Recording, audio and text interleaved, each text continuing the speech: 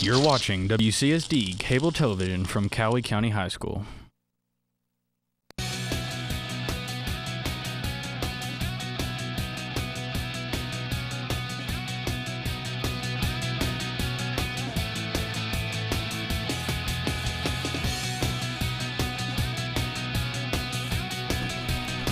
In recent years, it has been a growing field of work. You may have heard of occupational health and safety, or OSH, or heard of people who study or work in the field. But do you know exactly what OSH is and what the people specialized in it do? Hello, my name is Ragda Abulhaja, and with me here I have a student worker working at Murray State University's OSH department. His name is Sean Knowles, and he's here to talk about his field. Stay tuned here on Calloway Connections from the WCSD Cable Television.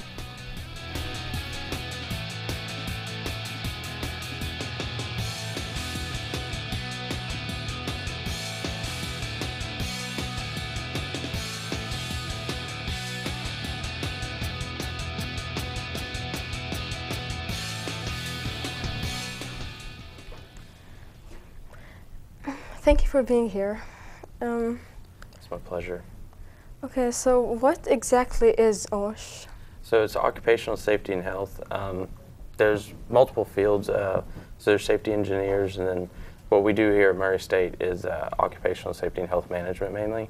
Uh, but we do also have environmental. So you can have it be a health, safety, environmental, um, or you could be a safety specialist or a safety coordinator, auditor, uh, or you could actually go work for Occupational Safety and Health Administration, which is uh, through the government. Um, so do they like um, um, okay, so what are possible work options? So you could work um, in the oil field or construction.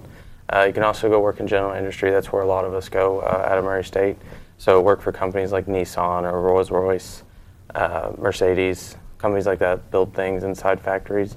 Uh, and in there, we'll do a lot of things. Um, we we cite standards and things like that to make sure the workers are compliant uh, with government regulations, but also we want to keep them safe every day. Um, okay, so what does a typical safety manager do in a construction site? on a construction site. Um, it's actually where I worked. Uh, we go out, we audit, we check, make sure fire extinguishers are good, make sure guys have PPE, which is personal protective gear. Uh, so you think of hard hats or gloves, things like that. Um, we ensure that they have those. We also do a thing called stretch and flex. So um, you know, these guys work hard all day. So one of the things we'll go out and do is kind of get them to take a break and stretch and uh, flex their muscles so that they don't get sore and have ergonomic issues later. Uh, and uh, what do they do in general industry?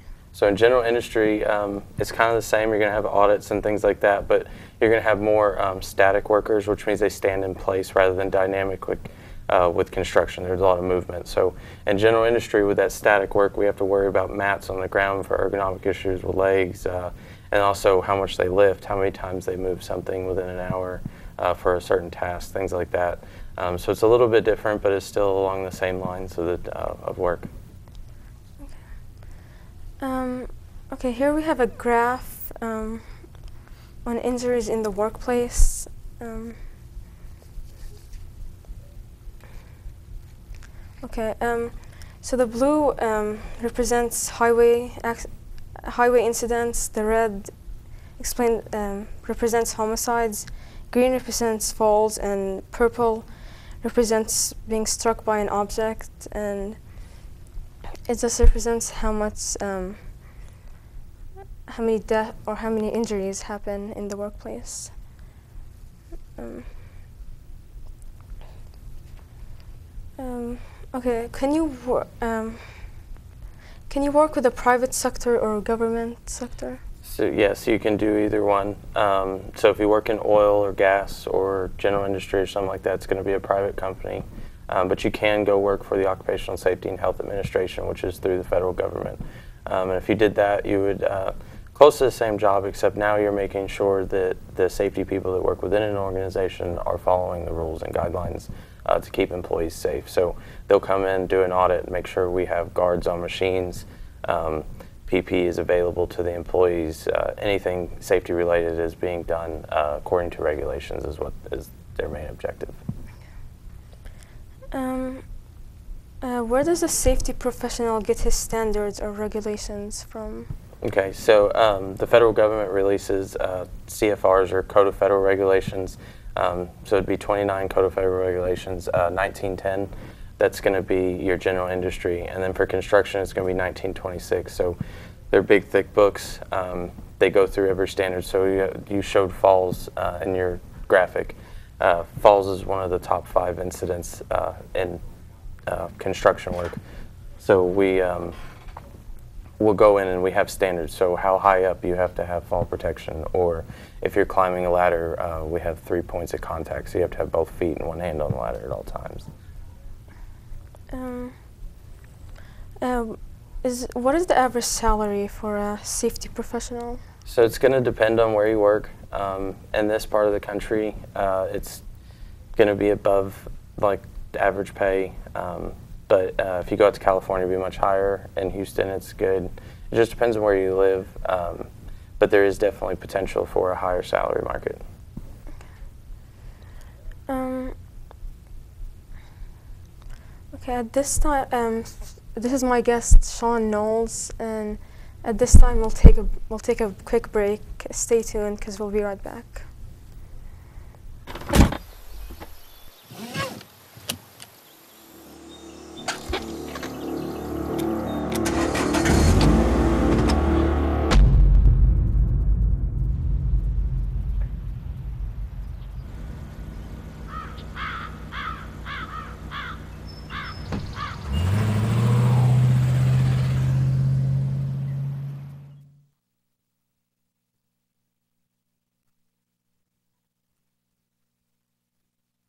So who's going to do what?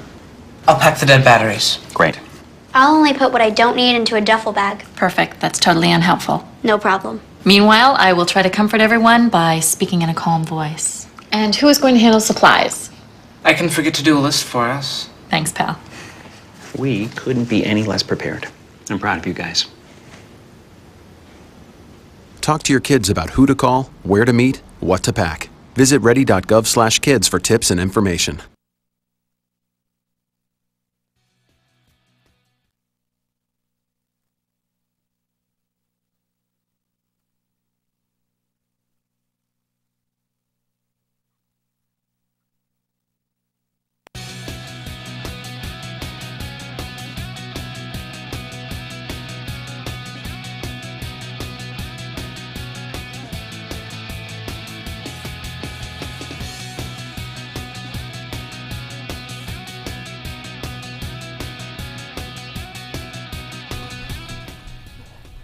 Um, welcome.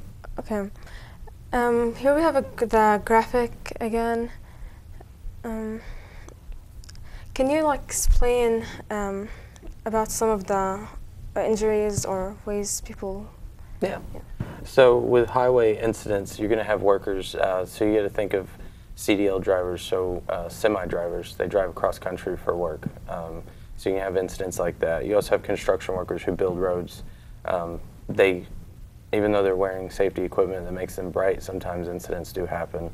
Uh, so you have those types of incidents when it comes to highway highways. Uh, and then there's also incidents where it's just delivering packages. You have FedEx workers and UPS workers as well, um, and the Postal Service. So there's lots of workers out, out there on the highway, and, and accidents happen everywhere. So, um, and then for was the red one? Homicides. Uh, so you got to think about gas stations or liquor store workers, um, places like that, banks. Um, if a robbery does take place, uh, a lot of them happen with, with weapons and uh, deaths do occur. So a lot of those homicide rates come from there.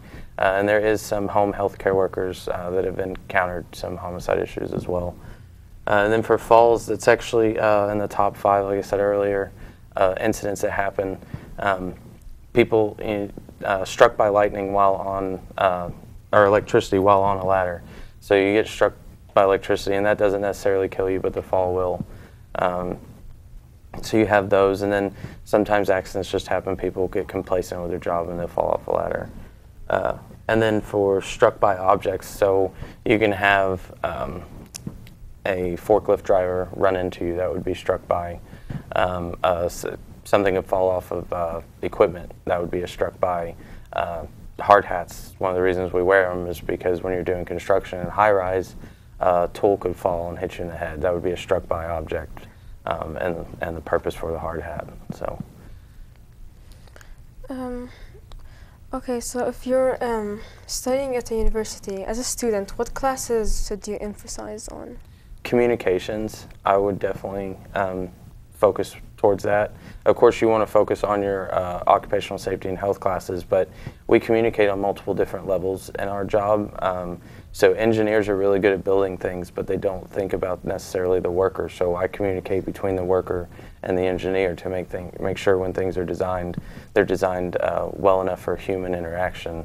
Um, uh, so there's things like that, and then you also have corporate offices that you have to communicate with. So with multiple levels of communication, I would definitely focus on those classes. Um, what are some certificates you can get to support the study? So while you're in school, if you go to Murray State, um, we offer uh, occupational safety and health, general industry, and construction certificates. So you go to class uh, to get credits, but you're also in there to get a certificate from uh, occupational safety and health. Uh, and you'll be given a 30-hour card for general industry and a 30-hour card for construction on completion of those classes. There are also other ones. If you come into Murray State and you have experience in construction or another field, you can go out and get um, your certified health and safety uh, technician license, which is a construction uh, certificate. Um, but those do require experience. So um, for the CHST, it's uh, two years on the, the, on the job uh, with 50% of your work being in safety. Um, we do graduate with a graduate safety professional certificate, uh, which is um, really important to us. Uh, other people that work in the field have to go take a test for the associate safety professional certificate. Um, so with us graduating with that, we can go into the field pre uh, prepared. Um, and then later on, after you have five years experience, you get your certified safety professional uh, license. And that um, is kind of like the PhD for us. Uh, it's, it's, the last certificate you're going for. Um, uh, so, what are some challenges um, to the field? Again, I'd say communication. Because um, you're communicating on so many levels, you have uh, the hourly worker, um, and then you have, like I said, engineers, and they're they're very focused on their designs and things like that. So it's kind of hard to get those communications uh, going. Um, you kind of have to build relationships, and that can be difficult to do. Um, what is rewarding about OSH? Honestly, saving people, uh, protecting people is very rewarding. Um, definitely helps you sleep at night. Uh, I've enjoyed that part a lot, but it's also um, you get involved with the employees, um, so it's you kind of learn about their lives and things like that, and it's it's kind of really really rewarding. Um, okay, before we go, uh, what would you tell someone who's going into OSH? To be open-minded. Um, incidents happen, and there's not much we can do about them uh, except for put things in place to protect people when they do happen. Uh, so if you can keep the open mind that the employees aren't um, at fault uh, always. Uh, that's a, that's a good good mindset to have going into it. Okay, I want to thank my guest Sean Knowles for joining us today. That's all for uh, this edition of Calloway Connections. I'm Ragda Abul for WCSD Cable Television.